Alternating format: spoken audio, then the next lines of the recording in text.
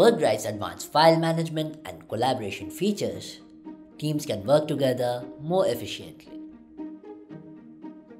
In this video, you'll learn how to migrate all your data from Google Workspace to Zoho WorkDrive in 5 simple steps.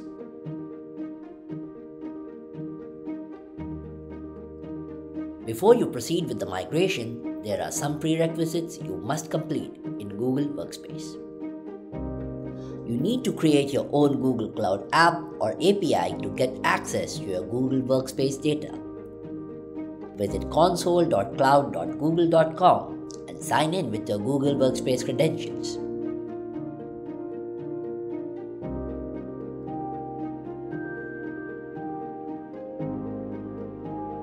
Click the active Cloud Shell icon to load the Google Cloud Console.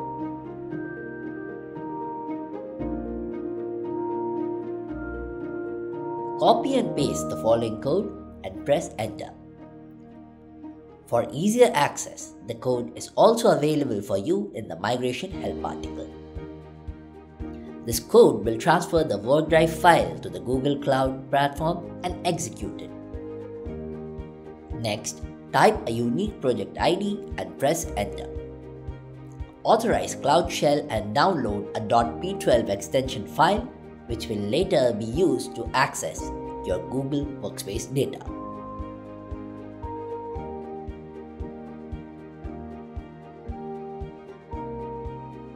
The next step is to get a service account email address and OAuth 2.0 client ID. Click the navigation menu icon in the top left corner and access the Service Accounts tab from the IAM and Admin option. From here, you will get your service account email address and OAuth 2.0 client ID details. Make a copy of these details which will later be needed for authorization. Authorize the service account to access your organization's data without your users having to give their consent individually. To do this, visit admin.google.com as an admin or super admin. Access the API controls under the Security tab.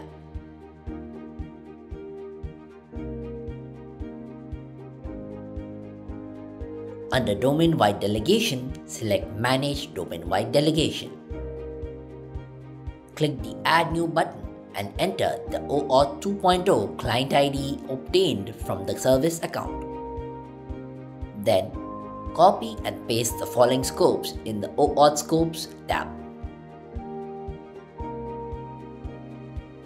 Once done, click Authorize.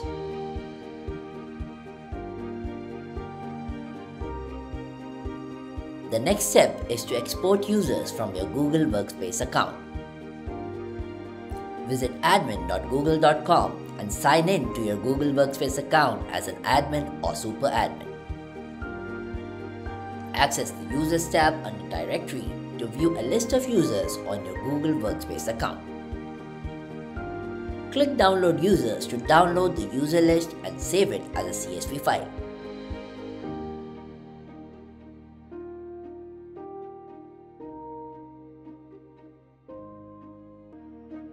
Once downloaded, you must update the exported CSV file to map your Google Workspace users to WorkDrive.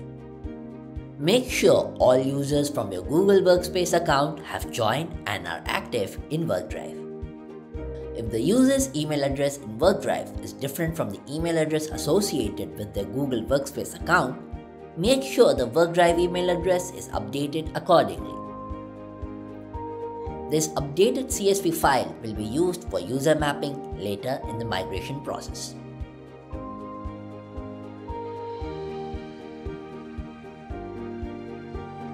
Go to your WorkDrive account and access the Migration tab from the Admin console.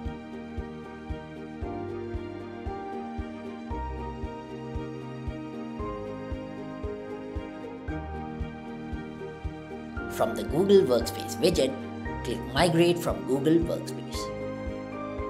Fill in the migration details which include the migration name, service account email address, and your Google Workspace Super Admin email address. Then, click Browse and import the private key. This is the .p12 extension file downloaded from Google Cloud Shell.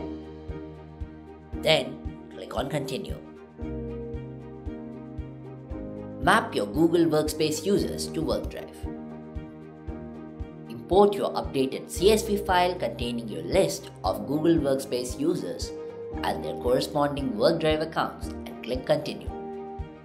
You will see a list of mapped users Switch to the Unmapped Users tab to see a list of any unmapped users, along with the reason their mapping has failed. To map all users, make sure all users from your Google Workspace account have joined and are active in WorkDrive. Click Continue and choose whether to retain your MyDrive share permissions for your org users and determine who will be notified once the migration is complete. Now we have come to the final step of the migration process. On the screen, you can see all your map users along with the list of all available team folders. Click Start Migration. You can see the status of the migration on your screen as it happens.